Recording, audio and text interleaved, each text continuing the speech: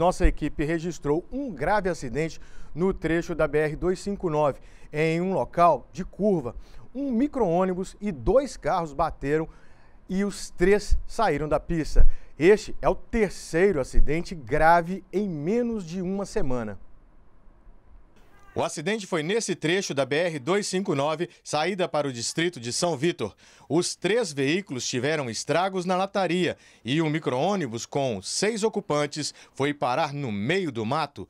O local de curva, o coletivo que seguia com trabalhadores de uma mineradora sentido a Vitória, chocou contra a lateral do carro de passeio. O condutor da caminhonete não conseguiu frear a tempo. A pancada foi tão forte no carro de passeio que a porta do lado esquerdo do motorista foi arrancada.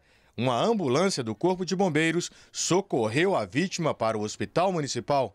Percebeu-se que houve uma colisão lateral, né? veículos que trafegavam em sentido oposto, né? colidiram lateralmente, e sendo que um desses veículos veio a, a, rodar na via, e diante desse sinistro, esse veículo foi parar na lateral da via, onde também a condutora eh, teve alguns ferimentos, ferimentos de natureza leve e está sendo socorrida ao hospital.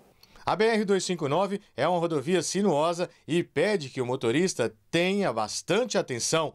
A falta de acostamento é outro desafio para o motorista. Este foi o terceiro acidente grave em menos de uma semana. Um trecho bem sinalizado e asfalto regular.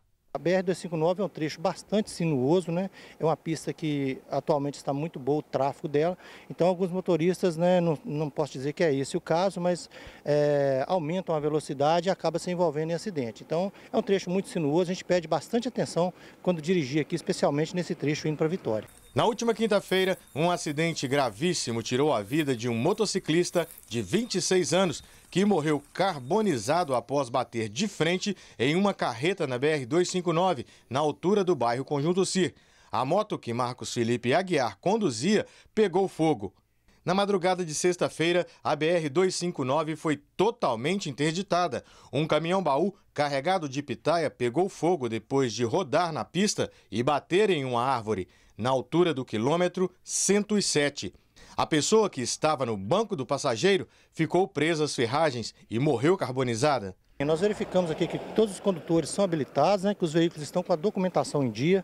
Então foi acionada a perícia, uma vez que envolve né, acidente de trânsito com vítima. A perícia irá comparecer aqui. Então, logo seja procedida a perícia, esses veículos serão liberados.